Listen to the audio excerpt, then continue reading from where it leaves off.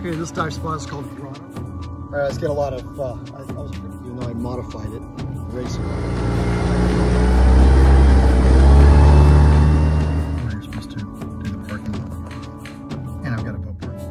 It's here in Lucky Peak. Look, I will get you an open water certification. If you're already a diver, I will do a, oh, or, I'm sorry, zoom in just a little bit more. So there's Tiny Cove right down there. This thing's gonna come out to about uh, 90 to 100 feet. Right down there, actually right down there is pipeline one.